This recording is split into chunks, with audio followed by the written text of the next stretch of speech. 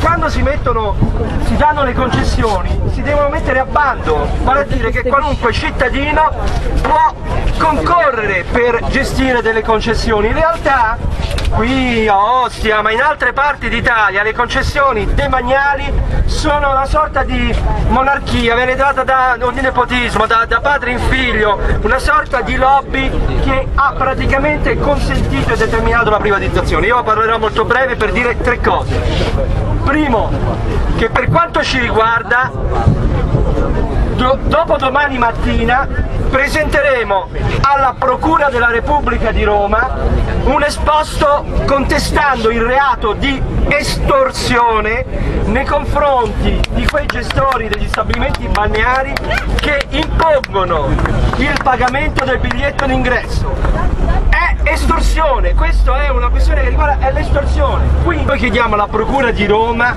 di garantire i diritti dei cittadini, quindi verrà presentato questo reato di, di estorsione.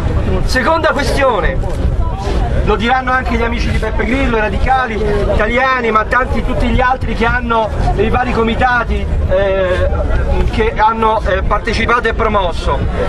Va, promuoveremo insieme una stagione referendaria nelle maggiori città balneari per chiedere non solo il libero accesso al mare che di fatto è una norma dello Stato approvata nella finanziaria del 2006 la scrissi io personalmente quella norma e la ricordo bene a memoria ma non c'è né polizia municipale né capitaneria di porto nessuno che abbia se io fossi il comandante di una polizia municipale che cosa farei?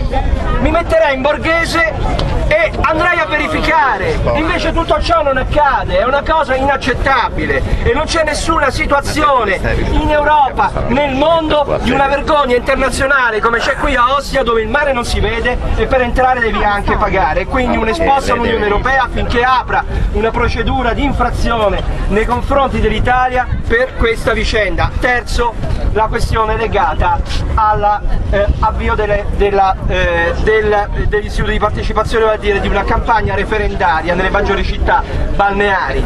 Oggi noi ripresentiamo la, la, la versione del manuale del bagnante in cui ci sono tutti i diritti dei cittadini che vanno al mare e che subiscono quotidianamente le vessazioni di chi gli impone il pagamento del biglietto d'ingresso. C'è scritto tutto, ma c'è scritto anche una cosa che gli italiani devono sapere, non è pagano 0,20 centesimi di euro metro quadro annuo non so se è chiaro, tra i 0,20 e i 0,40 centesimi di euro metro quadro annuo, tutti sono capaci a fare gli imprenditori con i beni dello Stato italiano e con i beni dei cittadini italiani. Questo è assolutamente inammissibile.